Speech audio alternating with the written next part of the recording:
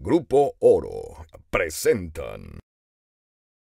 En el estudio de Oro Noticias estuvo Carlos Sánchez Romero, presidente municipal de San Martín Texmelucan. Habló sobre las problemáticas que aquejan al municipio. Eh, desafortunadamente, eh, el crecimiento económico en, San Martín Texmelucan se da, pero de manera desordenada. Y muchas veces no hemos tenido eh, la sensibilidad, los, los, que, los que han gobernado en San Martín, de llevar empresarios de calidad, empresas grandes, para poder detonar el desarrollo de una manera interesante. Tenemos tan cerca Puebla que todo el mundo opta por Puebla, ¿no? Exactamente. En esa parte. bueno, pues tienen un gran reto. Ahora, ¿cuáles son los tres ejes o los tres eh, puntos más importantes de, su gobierno, presidente? Pues yo veo en este caso la seguridad, el, el, el, ambulant, el ambulantajo, el ambulantismo que, que creció desmedidamente. Hay que ordenarlo. Ordenarlo, ya platiqué con el subsecretario Barceló, la semana que entra platicaré con el licenciado Manzanilla, eh, ya platiqué con el, con el secretario de Seguridad Pública Ardelio Vargas Fusado para que nos ayuden eh, a San Martín Texmelucan en el tema del, ambulant, del ambulantaje, porque tenemos eh, 2.000 ambulantes en, el centro de San Martín. Solo en el centro. calles de San Martín. Entonces es grave, es complicado. Sin embargo, estamos enfrentando las cosas y estoy seguro que vamos a salir adelante. Bueno, pues eh, el tronco común de entonces de esa administración que usted encabeza sin duda tiene que ser el orden. Así es. Volver al orden, volver al orden, claro, a la seguridad está implícita a este municipio de San Martín Texmelucan. Solo recuérdeme cuánta gente vive en San Martín. 145 mil habitantes. ni más ni menos. Somos el tercer municipio en el estado. Sí, en Puebla, Tehuacán y San Martín. Bueno, por eso le decía. Bueno, la FENAM es la instancia de representación de municipios más eh, grande e importante de México. Aglutina, representa a la primera, al primer eslabón de la cadena de gobierno en cualquier figura, por supuesto, de, país, eh, de, poder, de orden, democráticamente hablando, desde luego. Así es. Eh, pues es el municipio, es ahí donde vamos y tocamos primero la puerta, o donde vamos y nos quejamos, o donde vamos y pedimos, donde vamos y pagamos, ¿no? Así es. y usted ya representa, encabeza los esfuerzos de la FENAM. Así es. Para el estado de Puebla, son, ayer precisamente me dio mi nombramiento. Representante, claro. A los 100 cuatro presidentes municipales del estado de Puebla. Es para mí un orgullo, es un honor. Me dio mi nombramiento el licenciado Erubiel Ávila, sigue siendo él nuestro presidente de la FENAM a nivel nacional. Es correcto. hoy en día, bueno, pues es el, candidato al Estado de México, al, gobierno del Estado de México. Sí, sin duda. Entonces, somos amigos, eh, hemos estado trabajando de la mano en este tema con él. Y comentarte que de, de esta federación a nivel nacional, han salido 25 o 26 gobernadores. ¿De esta federación?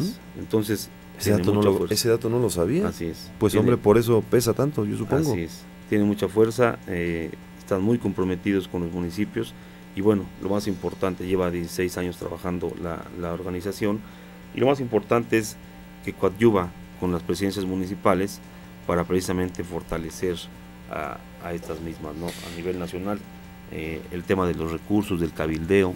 ¿Cuál es la encomienda, eh, la meta, el objetivo una vez que usted representa a Puebla en esta FENAM? Sí, eh, te comentaba, el, lo más importante es bajar recursos okay. de, las entidades federativas. Los logros de la, de la FENAM en, el tiempo que lleva funcionando, uno de los más importantes es el fondo de la pavimentación y espacios deportivos para municipios, en donde aquí tenemos los datos. El, en este año se ejercieron 2.200 millones de pesos. Otro tema importante es el Subsemun, que lo tenemos en Puebla, lo tenemos en Teciutlán, por ejemplo, y en San Martín Texmelucan.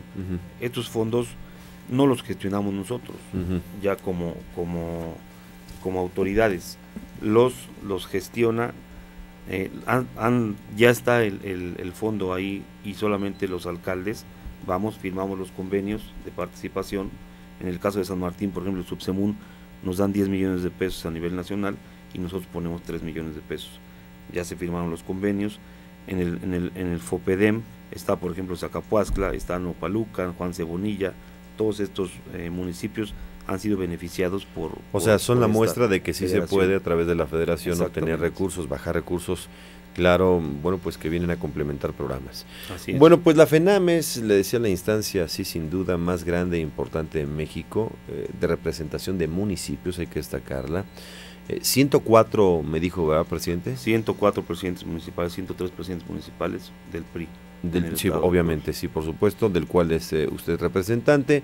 La organización ah, municipalista, pues más representativa del territorio nacional, hoy día agrupa a más de 1.500 municipios en la República Mexicana, que pues ni se, vamos, se dice fácil, pero ni es fácil ni tampoco es soslayable. Son 2.540 y tantos municipios en, la República Mexicana, estamos casi el 70% ¿no?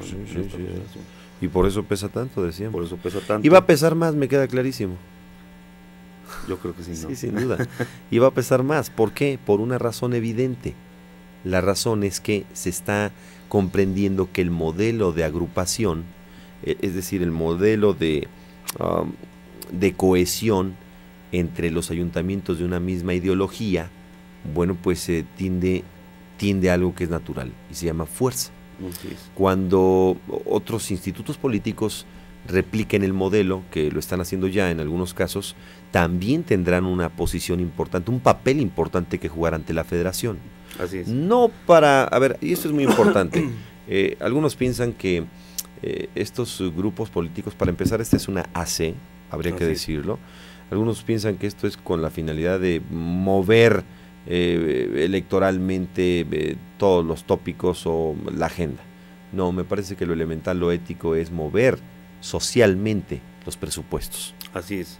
Si nosotros no venimos a, enfrentarnos en ningún, en ningún caso a ninguna autoridad, venimos a coadyuvar con las autoridades estatales y federales, pero si queremos que haya una igualdad de circunstancias, ¿no?